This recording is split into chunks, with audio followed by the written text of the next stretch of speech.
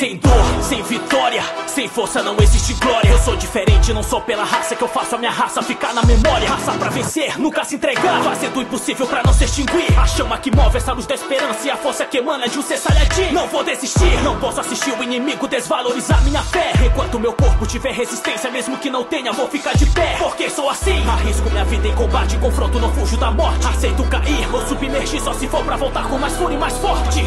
Minha história foi marcada como Capaz de prevalecer, poder me reconhecer como um guerreiro que luta pra se fazer merecer. Nunca vou me convencer que a minha força é limitada, que falta capacidade pra poder superar. Frente a uma grande diferença, não vou me intimidar. Porque nasci pra lutar, isso ninguém vai mudar. Minha conduta na batalha, valorizo cada golpe, cada sangue derramado. Me fez aprender com a dor, me diga quem vai superar com meu desejo de vitória. No final da minha história, saiu como vencedor. Você não sabe quem eu sou, não sabe quanto que eu lutei, não sabe quanto que apanhei pra chegar nesse patamar. Tenho plena convicção que a minha força sempre aumenta, isso sempre me alimenta, nunca paro de treinar.